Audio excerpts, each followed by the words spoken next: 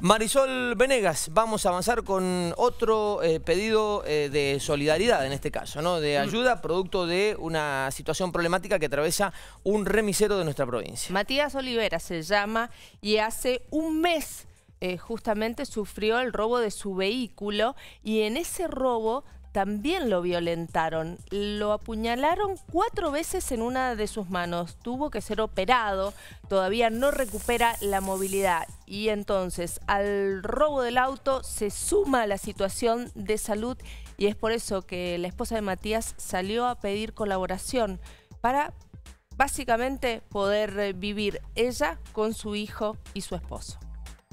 Él hace un mes atrás sufrió un asalto eh, lo apuñalaron y le robaron el auto.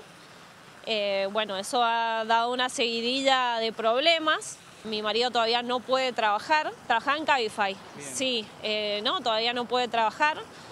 hace unas dos semanas atrás, una semana y media, lo operaron, le pusieron un yeso, le tuvieron que, que unir el tendón cubital que le habían cortado y bueno, eh, ahora necesita fisioterapia para poder utilizar la mano. El problema es que no tienen con qué pagar una fisioterapia. Exactamente, en el hospital eh, los turnos ya están dados, eh, ellos lo hicieron lo que pudieron, obviamente, la operación sí la pudieron hacer dos semanas después de, lo que ocurrió. le pusieron un yeso, pero la parte de fisioterapia para que se pueda recuperar todavía no, no la podemos hacer. La necesita y porque si no, no puede mover la mano. Le dieron cuatro puñaladas en la mano. Ah, eh, una de ellas fue la que le cortó el nervio y no puede mover los dedos. Eh, no puede apretar, no puede agarrar y necesita sí o sí hacer la rehabilitación para poder utilizar la mano y poder manejar.